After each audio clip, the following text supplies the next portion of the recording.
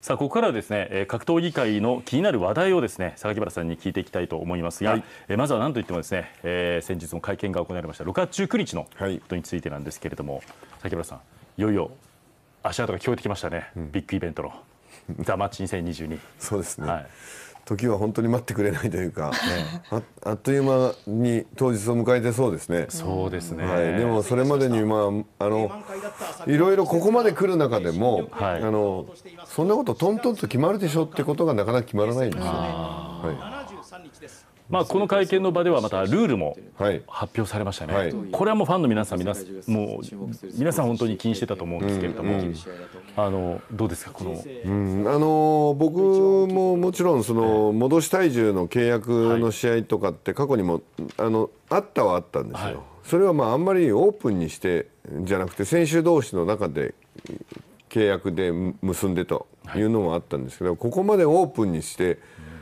っていうのは初めてだしうんそのけ今回の体重あの契約体重のことを、まあ、ファンの人たちがどう思うのか。ただ2人が階級が違う選手で60キロと55キロそれぞれのこう、まあ、プラスマイナスだけで考えれば67.5キロっていうのがスイートスポットじゃないですか。はい2.5、はい。2.5、でもそこを58に設定して、ええ。その中で戻しの体重をどうしてっていうそこも本当はこのここにたどり着くまでに紆余曲折すごくあったんですね、ただもう決まったルールなんではい。武尊も言ってますけどこれに対してあのラウンドがうんぬんとか契約体重がうんぬんかんぬんってそれはもうあのファンはいろいろ言えばいいと思いますけど、両者は納得してえこのルールで全力で戦う分かったっていうことなんでそれにあんまりとやかく言う必要はないと思います、58キロ戻し4キロ試合のゴングのなる3時間前最終計量。はいそこで62を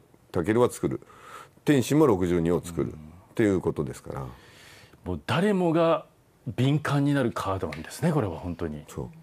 そういう意味では本当に榊原さん大変だったんだろうなと思うんですけれども、うん。まあまあでもね当日のこの後まだ問題はいくつもあってレフェリーとかジャッジとか、ジャッジの基準をどういう基準で取っていくんだ、当然違う団体のトップアスリート同士、で団体ごとにそのジャッジ判定の基準もはい。微妙に違ってるし、ええ。当然ねワンキャッチワンアタックのルール、はい。うんだからといって大豆のジャッジを使うわけにもいかない、ええ。だからそれを中立なジャッジでじゃあレフェリーをどうしてっていうこととか含めてまだまだこれから詰めていく。ことがたくさんありますけど、ええ。まあでもあのやるっていう2人の意思にあの一つの一点のく曇りもないので、そこに向かって周りが全て調整をして突き進むっていうことだと思いますね。まあ先週末からあのチケットの先行抽選予約もはい。やらせていただいて、え大噴火してますから、あうんもうあのー開始30分で2万枚近く予約が入ってました。そうですか、はいもう大噴火してる。だからまあもちろん16日まで今抽選選考のエントリーはできるんです、はい。第5希望まで書けますから。第5希望まで書いてこの席が取れなかったらこの席とか。で、あのーこまあ、この機会にお伝えしておくと、はい。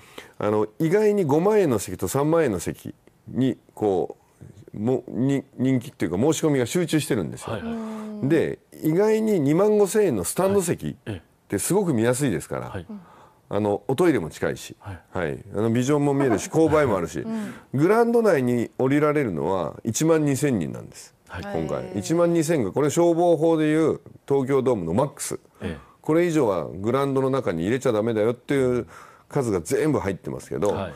それの最高列になるのが3万円の席だからね。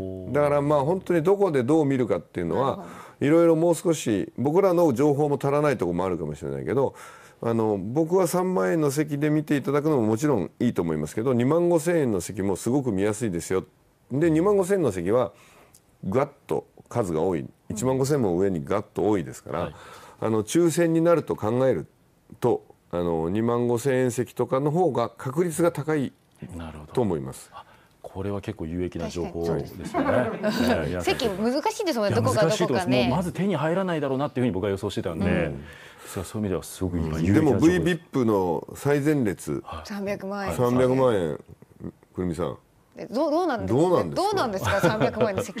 いやすごい数でもすぐなくなりそうな感じします。すごいかすごい数の人たちが。来てるんですか、はい。やっぱりそうですか。すごい今回のタイトルマッチではないわけじゃないですか、はい。でも那須川天心そして武というこの2人が、まあ、言うなればそれぞれの人生というかもうこの2人が武選手は武というタイトルを持っていて、那須川天心選手は那須川天心というタイトルを持って、でそれぞれが背負ったタイトルを持ってリングに上がって対峙する、戦うっていうことですから。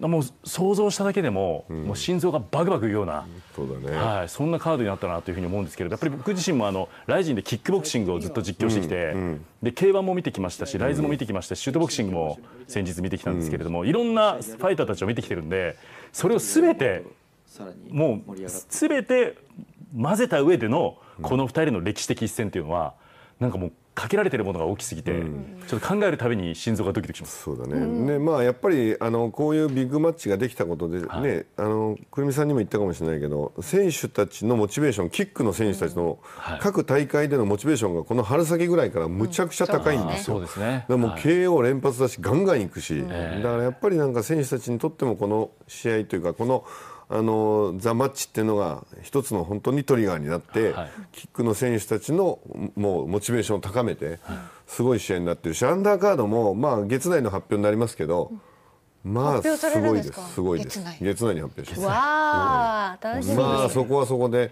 K1 さんもライズさんもやっぱりもうあの威信をかけてトップアスリート全部出してくるんでこれはねあのタケル天心もちろんだけどアンダーカードも侮れないですよ、うん楽しみにしてほしいです。会見の中村さんと伊藤さんのやり取りがすごく熱いものありましたね。ええ楽しみですね。楽しみです、はいはい